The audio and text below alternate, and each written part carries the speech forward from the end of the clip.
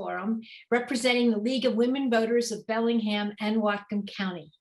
Tonight, we have Spanish interpretation available.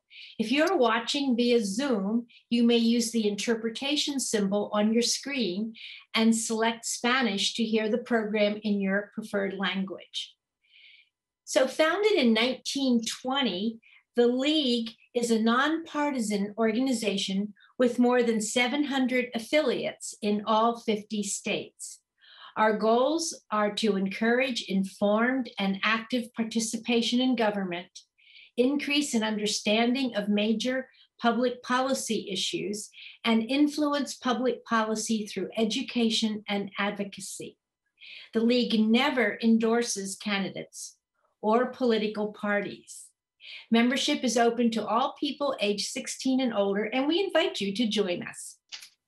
Tonight's forum is being broadcast on the City of Bellingham YouTube channel and BTV. Recordings of this program in English and Spanish will be available on the League of Women Voters of Bellingham Whatcom County website. The forum will be rebroadcast on Bellingham Community Television, BTV, through Election Day, August 2nd. No portion of this forum may be rebroadcast in part or in full without the written consent of the League of Women Voters of Bellingham, Whatcom County. Questions for this forum have been prepared in advance by the League with input from the public. The Cascadia Daily News, Lynden Tribune, Salish Current, Northern Light, and 102.3 KMRE Community Radio are our media partners. Tonight, we are hosting candidates for the 42nd Legislative District Senate position. The Washington State Senate is made up of 49 members, one from each legislative district in the state. One half of the membership of the Senate is elected at the general election held in November of each even numbered year. During legislative sessions, the legislature is called upon to enact or reject legislation affecting public policy in the state, provide for the levy and collection of taxes and other revenue to support state government and assist local government, and appropriate funds for these pur- purposes. The Senate also has the exclusive power to confirm certain gubernatorial appointments.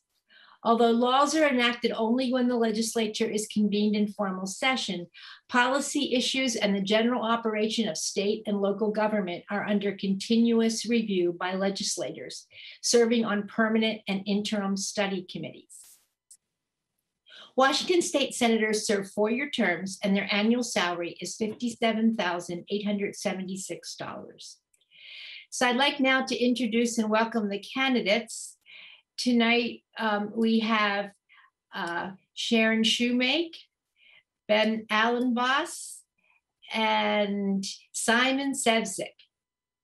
So here are the rules. Each candidate make, will make a two minute opening statement. Then each candidate will be asked to respond to the same questions. Candidates will have up to 90 seconds for their responses. Candidates will have a one minute closing statement. I will ask candidates to speak in the same order as their names appear on the ballot. So, candidates, uh, when you have 50 seconds left, Eileen, one of our league members, will say 15 seconds. When your time is up, uh, she will say time. Please stop speaking when she says time, or I will ask you to stop speaking. So are there any questions before we start? Okay, then candidate Shewmake, please give your opening statement and you have, um, I believe, one, one minute for that. Thank you so much. Um, my name is Sharon Shewmake, and I'm an economist at Western Washington University, where my training is in agricultural, natural resource, and environmental economics. As an economist, I analyze if a policy really works. And I think that's a useful perspective to have in the state legislature. In fact, I'm the only economist in the legislature. I moved here after going whale watching in Anacortes, and I looked around and thought, well, gosh, who gets to live here? Soon after the answer was that my family gets to live here. I'm married to the best husband in the world. We have two kids and a dog. And like you, we just really love this place. In the state Senate, I want to work on affordable housing. We just haven't done enough. There isn't one answer, but you have to be willing to make tough calls that create more affordability. And it needs to be at the state level because if Seattle doesn't build enough, people move here. If Bellingham doesn't build enough, people drive until they qualify, and this impacts our roads and our rural communities.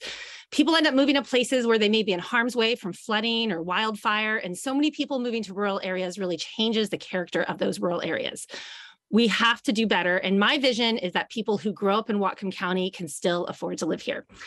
Um, I really appreciate the League of Women Voters for holding this forum. I see it as vital to democracy. This is the only venue where you get to hear what candidates will do to safeguard voting rights and women's reproductive rights.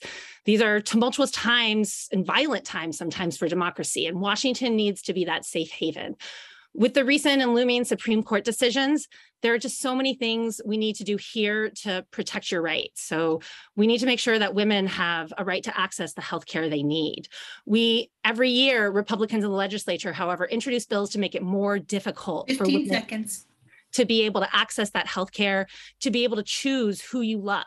We also need to make sure that we're protecting your right to vote. So Republican Kim Wyman will tell you we have the best, safest system in the world, but every year we see Time. challenges that make it more difficult to vote here. Okay, thank you. So candidate Elenbaas, your opening statement, please. Hi, I'm Ben Elenbaas. Um, I have lived in Whatcom County the entirety of my life, and that would be 43 years. Um, I'm a husband, a father, I'm a farmer. Um, I've worked at the Cherry Point Oil Refinery for the last 21 years, where I'm currently an operations foreman.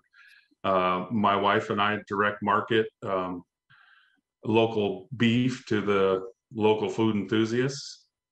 Um, I went to Lynden High School where I played football, and I was um, lucky enough to have Western Washington University invite me to play football for them, and in return, they they paid for my college. Um, otherwise, I may not have been able to to go to college. But um, while I was there, uh, I've always been interested in agriculture, um, and I was very disappointed to find out that that they didn't have any ag program. So one of the big things, one of the big issues going on at the time that I was in college, uh, the Dairy Nutrient Management Act had just passed. And well, um, I'd grown up as a you know fourth or fifth generation farmer in Whatcom County. I I knew how to grow seeds. I knew how to to work on my equipment. I knew how to tend my livestock. But what I really didn't understand as much as I could was um, my impact on the environment. So I choose to do the, take the majority of my studies at Huxley College of the Environment. Um, that served me, that has proven to serve me well um, in agriculture. It served me well at my job in the oil refinery, and I find that it serves me well um, in my endeavors on public service. Um, I started out um, being appointed to the Planning Commission. I served there for a few years, getting my feet wet in, in land use policy. Chaired the charter review, got elected to county council, and here I am running for the Senate. Thanks for having me. Thank you. So candidate Sefzik, your opening statement, please. Well, first of all, I'd like to thank the League of Women Voters uh, for hosting this forum. If we haven't met before, my name is Simon Sefzik, and I'm your current state senator here in the 42nd Legislative District. It's been the honor of a lifetime to get to represent you in Olympia. But as some of you may know, my story is in many ways an improbable one.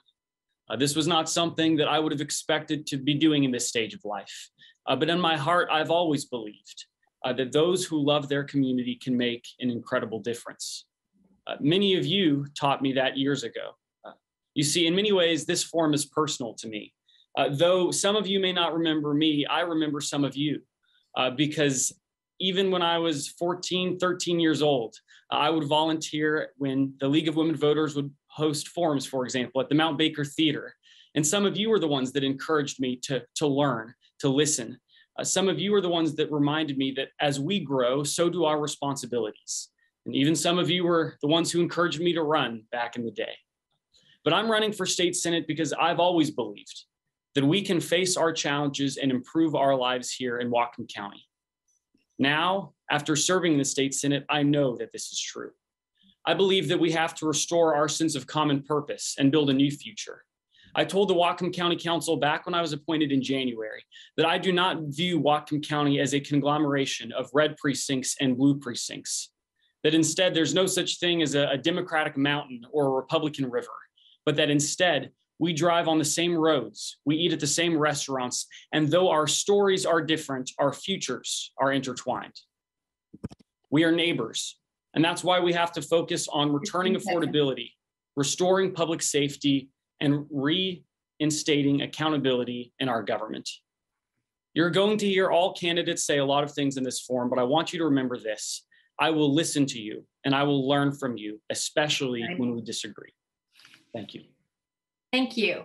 So now the first question is, what changes, if any, to the gun safety laws in Washington state would you oppose or support? And we'll start with candidate Shewmake. Your response, please. Yeah, thank you so much. I think we should regulate guns. I grew up doing riflery practice at camp. My uncle and brother hunt. That's not what I'm worried about, but we do need to make sure that we keep our kids and our family members safe. We need red flag, flag, flag laws. We don't need weapons of war. Guns need to be locked up. And these are recommendations put forward by the International Association of Chiefs of Police. And for good reason. Police chiefs are and police members are impacted by this too. So I want to use evidence based policies that are reasonable, that protect us, that keep us safe. And that includes kids, that includes those who are maybe having suicidal ideations, that includes uh, victims of domestic abuse and violence. So I I really think that with everything, it's the data and evidence and figuring out ways to implement our values. Okay, thank you.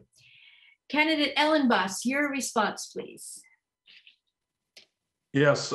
I think that uh, I agree with um, with Sharon about statistics and data being relevant to the conversation. And I think that if you do believe that, um, I don't think that the statistics around gun control support the assertion that less guns or more guns equal less crime less guns equal more crime. I believe I believe the statistics um, support more guns equal less crime. So um, I I believe that the Second Amendment is there for a reason. I believe that um, uh, guns are a tool and um, if we're worried about evil in this world, we should address evil and not the tools that it uses. Um, so one thing that I would change, I, I, I do not support the, the magazine capacity ban that was passed last session.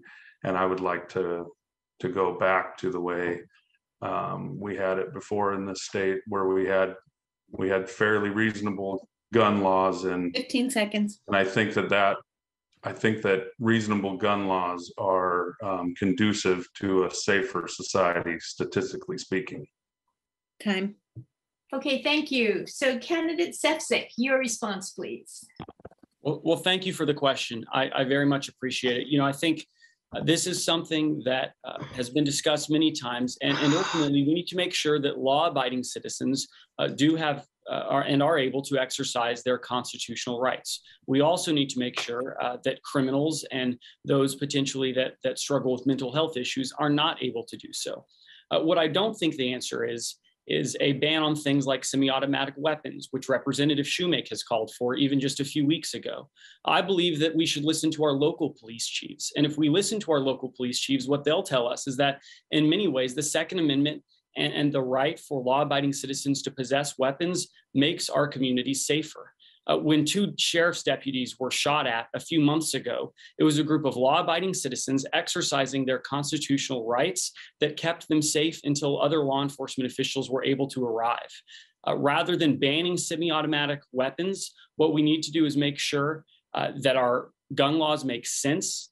Uh, and I don't think the data indicates that more possession of weapons necessarily needs, ne- leads to more crimes. And so That's why ultimately we need to listen to what our local law enforcement are sharing. And that's why this entire mentality also at the same time to strip away law enforcement of their tools and their ability to do their job doesn't make our community safer either. And so that's why ultimately we need a balanced approach. And the legislature has gone too far in the last few years regarding this issue. Okay, thank you. Question number two. What role, if any, do you think state government should play in alleviating homelessness? And we'll start with you, candidate Elenbaas. Your response, please. Well, I think in a perfect world, we all take care of our neighbors and our family members, but obviously we don't live in a perfect world. So I would much prefer that the state didn't have to step in and that uh, families could take care of each other and church groups could take care of their communities and communities could take care of each other. But but we haven't seen that happening. So um, over time uh, because most of the causes of homelessness are are people who have burnt out all of their opportunities with their groups um, that have supported them in the past. So um, i do support uh, taxpayer funding for mental health facilities. I've supported it on the uh, and my role in the council. Um, I I think that the state should actually spend more money than they have in the last few years on mental health um, infrastructure and and um, professionals and have it be more available to the folks that need it. I think because what we've seen in the community is is that you know seconds. even people that are are just slightly struggling that are just getting ready to slide off that that cliff of of instability don't have access to to mental health treatment Time. Thank you. Candidate Sefzik, your response, please. Sure. Well, as you mentioned, I think that the difficulty we're facing in our state is, is multifaceted. And uh, the, the problem of those experiencing homelessness is one that uh, has many has many causes. As candidate Elenbaas mentioned, uh, there are many times uh, components about uh, burnt relationships, burnt bridges, so to speak, that help contribute to these problems. Uh, our lack of affordable housing in Washington State also contributes to that problem, uh, which is why you know we we need to address uh, some of those underlying issues when it comes to to mental health and substance abuse, and we need to do so uh, in a way that makes sense. So I'm not automatically opposed to these government programs, but I do believe that we need to follow the data and make sure that the money we're spending uh, has an actual return of value, uh, both to those experiencing homelessness and to the taxpayers who are funding those programs. And we also need to, to have housing policies that make sense rather than uh, continuing to push for a net electrification of, of houses by or, or no natural gas houses by 2031, which will only increase the, the cost and the price of housing. We need to make sure that there are better housing options for all of those involved. And ultimately, we need to make sure that we address this issue in a humane and compassionate manner. And if if we if any of us went right now to downtown Bellingham, we would see that there are people really struggling right now. And that breaks my heart. And so we need to make sure that we're compassionate and effective in our answer. Okay, thank you. Can you make your response, please. Uh, someone's uh, homelessness is a housing problem. We see that when communities have higher rent prices, the homeless rate goes up. We see this over and over again from data and evidence. There's not enough housing to meet demand in our community. And when I was out knocking on doors, I spoke with people who have seen their rents increase by 50% in one month. In the last budget, we made a $400 million investment in the Housing Trust Fund, historic, but this is projected to only add about 4,000 units statewide. We need 180,000 to 250,000 units statewide. We have to look at private market solutions as well as build more subsidized housing. And if we don't, prices will continue to climb. Working people will be continue to be priced out and squeezing and addressing homelessness becomes even more difficult. So not all families are mentally ill. There's lots of reasons why people are homeless. Sometimes a business goes wrong and you have teenagers that are living in a car. There's about 18 different reasons why someone is homeless. So we need about 25 different types of policies to help address that from tiny homes to more affordable subsidized housing to mental health care facilities. And I fought for and won funding for two new mental health care facilities in Whatcom County, the Crisis Stabilization Center and the Way Station. We do need these mental health care facilities and the Way Station I'm particularly proud of because it was a project that Peace Health 15 came to me.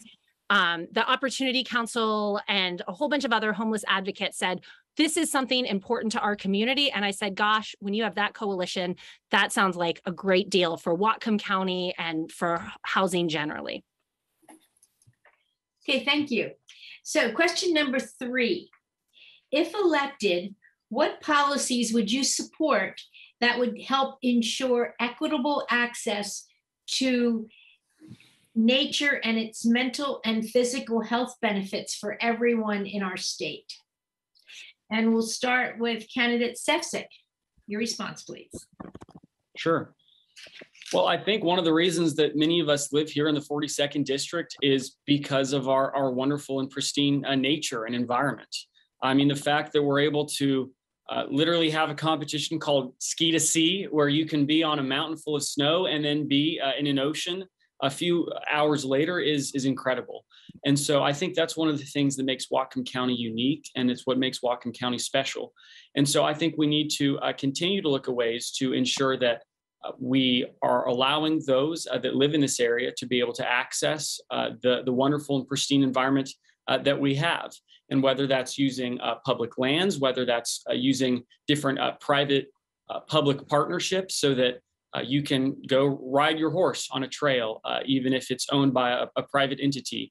that those options are are extraordinarily beneficial. I went up two days ago to a facility near the, the east side of the county, and it was a great example of a public-private partnership uh, that's been done here in the county and across the state that allows individuals to enjoy the pristine beauty uh, that is Whatcom County and that makes this place uh, such a wonderful and special uh, land for all of us. Thank you. Candidate Shewmake, your response, please. So there's, I love this question, by the way. Um, my seatmate Alicia Rule had a fantastic bill on outdoor education that we're trying to make it an entitlement that every kid gets some sort of access to learning in the um, Another really important piece of this is more funding for parks and trails. I heard a story the first time I read it about a kid that was killed in Kendall by riding his bike on 547. The community was devastated and they'd been working on a way to try and get a safe path in between where the homes are the opportunity council unit the school the library and they just weren't getting anywhere. And so i basically fought and fought and fought until we got $4 million to fund this trail. It's going to be a while till it's built, but I'm so thrilled about this. There's also opportunities with organizations like Whatcom Land Trust. So access to California Creek up in the Blaine area. Um, that was a new um, acquisition and it could be a kayak highway where you can kayak from one spot to one spot. Um, but generally, we also need to make sure that we're connecting um, within cities, but also between cities. I've been talking to the county about possibly making making some connections between um, Birch Bay, Ferndale, Blaine, um, et cetera, and Bellingham, so that folks seconds. can go from one community to another community. And I just want to bring back a dream that I heard from a friend who grew up in Ferndale, where she used to ride her bike to Birch Bay. And I think that's kind of dangerous now, um, but I'd love to figure out a safe way to make that so all right. kids can ride their bike there. Okay, thank you. Candidate Elenbaas, your uh, response, please.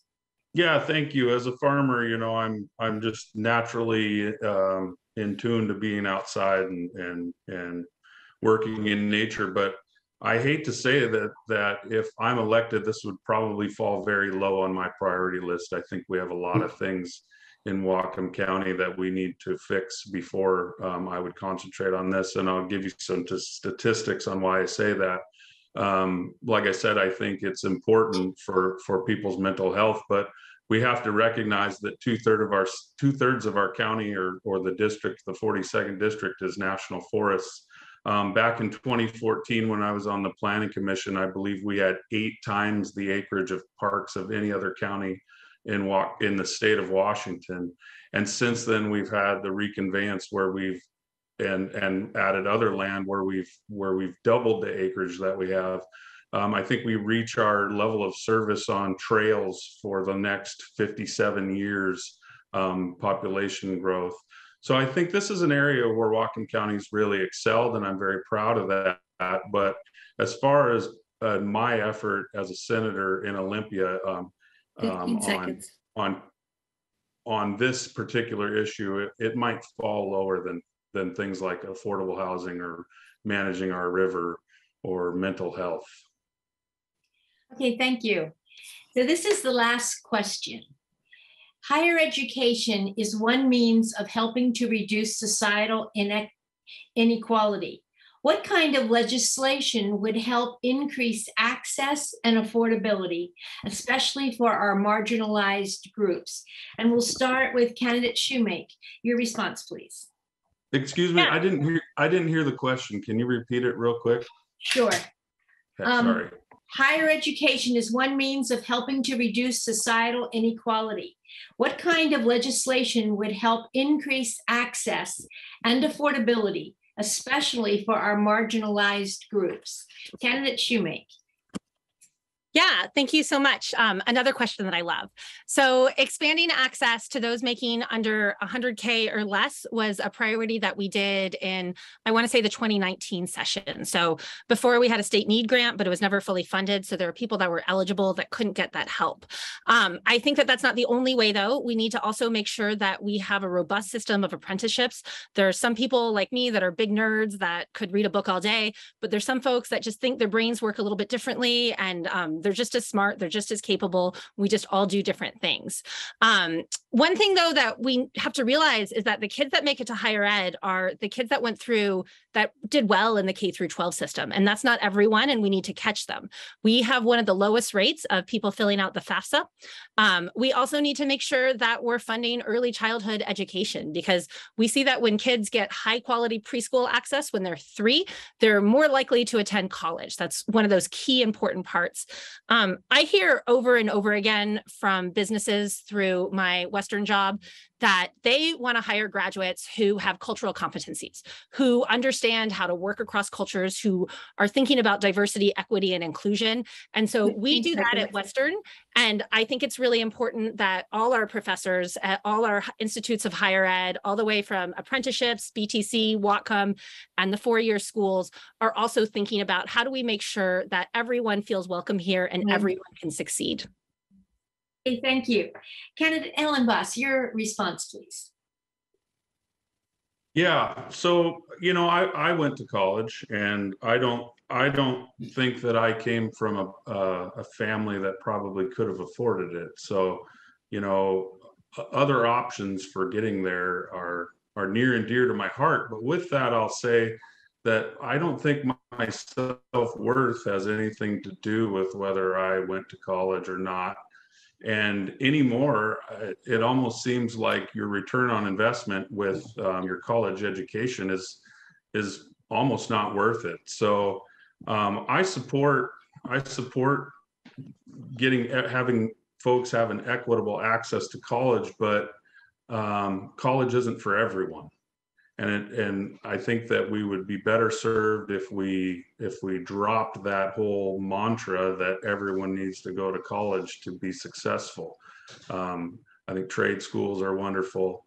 I think um, just the school of hard knocks is, is a wonderful thing. Some some of the most successful people I know um, didn't even graduate from high school, and, and and people may look down their nose at them, but you know they're farmers. seconds. And so um, I, I again, I don't think that this is an issue that I would prioritize a tremendous amount ahead of things like managing our river, um, economic development, um, and, and those types of things. Okay, thank you. So candidate Sefzik, your reply, please. Great. Well, well, I, I appreciate the question. I am, I just have to say a little bit intrigued that of all the questions to ask about, there hasn't been a single question about taxes. There hasn't been a single question about inflation.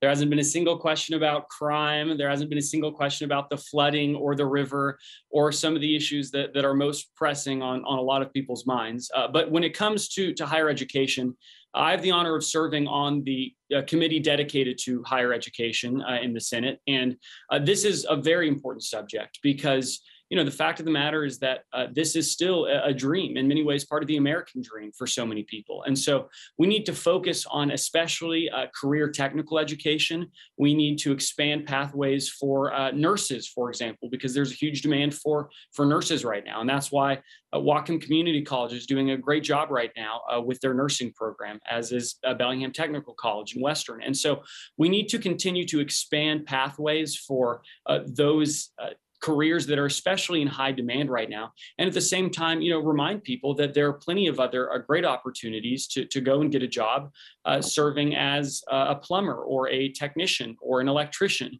And so uh, this is a, a very uh, sort of broad subject, but but absolutely we need to make sure that those who who want to go to college that there are responsible ways for them to do so, and at the same time continue to expand opportunities through having a county, for example, that's conducive to economic growth, that's a safe environment, and all of those things. Okay, thank you.